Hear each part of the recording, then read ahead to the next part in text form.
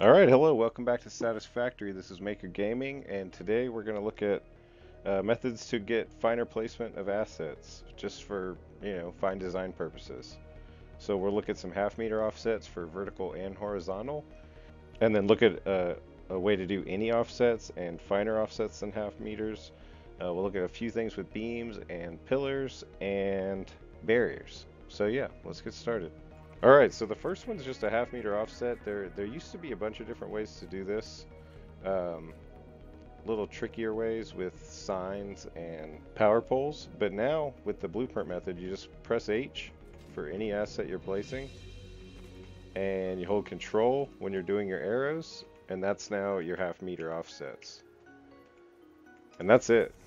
So just to show it off, we'll look at this fluxo method of the of the one meter walls and do H, control, arrow, place. Now when you do that second set of barriers on their one meter track on this foundation,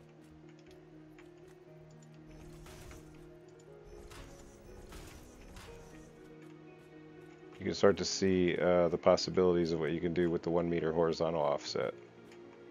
And if you wanted, I mean, you could fill these slots, or we just show on the top actually, it's easier.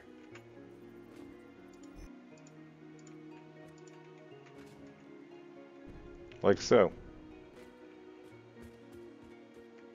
Alright, for the half meter we have a couple choices. Um, let's go down, we'll start with the world grid.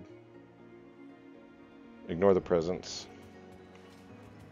So to get the half meter offset vertically, from world grids, you could do a two meter foundation and then copy that, do a one meter foundation over here. And now those are going to be on separate uh, grid levels because the world grid snaps to the middle point of the foundation. So the middle point of a two or a four is an even number, whereas the middle of a one is a half meter. So those are always going to be off, and then you would just drag one to the other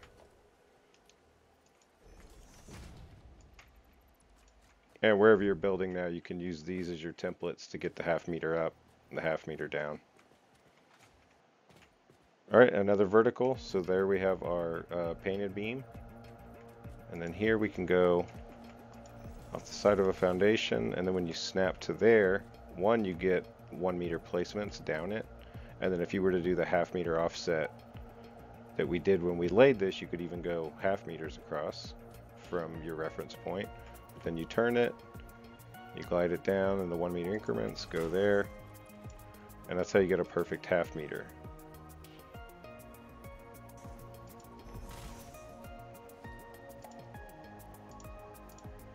Alright, so that's how you would do uh, the half meter vertical.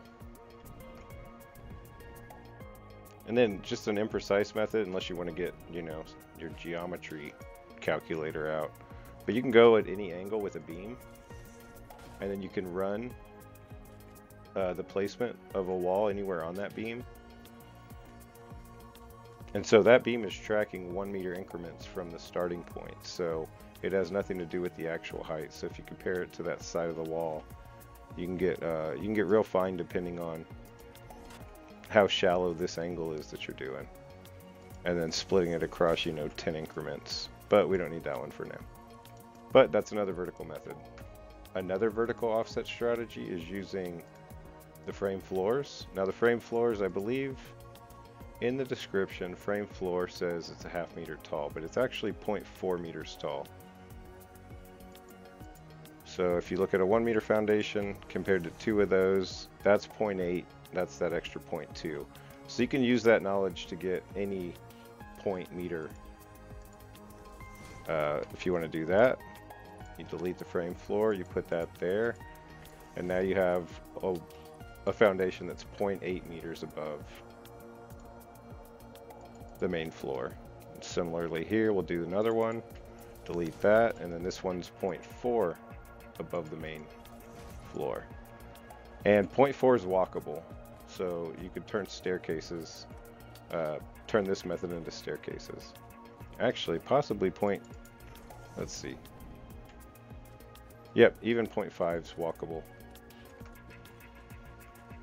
All right, so now looking, we looked at the beam, using a diagonal beam to get a different height for a wall, but let's look at when you're doing an angled wall and what, what you can do at the, at the points. All right, so I set up a road using the barrier method just to show off that, um, you know, you do it on one side and it, it matches up perfectly. But then for the other side, you get this crossover wherever the two uh, foundations overlap. But with this, you can take pillar, and you want to do it on a two or four meter so that it stays square.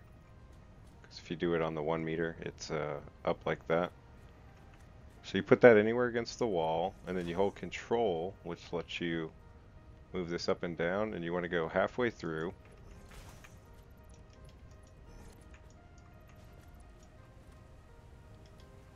Alright, so now with that concrete laid, you can go there and you can put it anywhere you want. It runs all the way down the line of the pillar. So we'll do it like that, and then put this normal one back. Actually, delete these.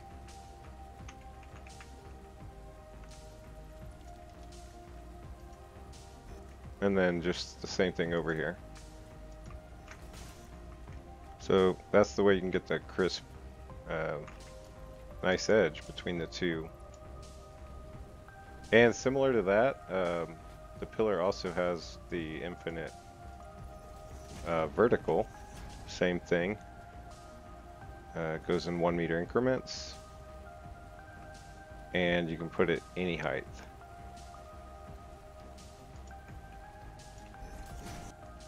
And then just one last one that's real important. This is uh, the barrier method. First time I ever saw it was by Fluxo, but this is one of the most helpful tips there is in terms of getting angles that aren't right angles. The way you do that is you could set a barrier anywhere on any corner of a foundation. Rotate it in whatever direction you want. You place a second one, and then when you put that in, That placement's dead center. And there's a lot of uses for this. Um, I'll have a couple links to videos for circles and hexagons uh, that are made like this. But a common thing is to do a 45 degree angle there.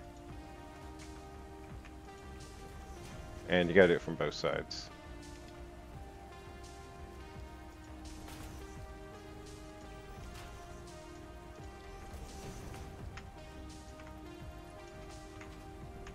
Yeah, and that's how you can start getting a little more uh, creative with your the blueprint. No more square boxes. Alright, and I think finally just one last thing about beams that I think is kind of important that I never really realized, but when you place a beam, the first point you do is your zero point. So you can go out, you can go default, which goes in one meter increments in the cardinal directions. You can do diagonal, which kind of goes in more diagonal lines, and I think can clip to certain, yeah, to clip to the assets, and then freeform, which does whatever. But no matter which one you do, that point is zero, and so everything you're doing that comes off of that is in increments of one coming from that side.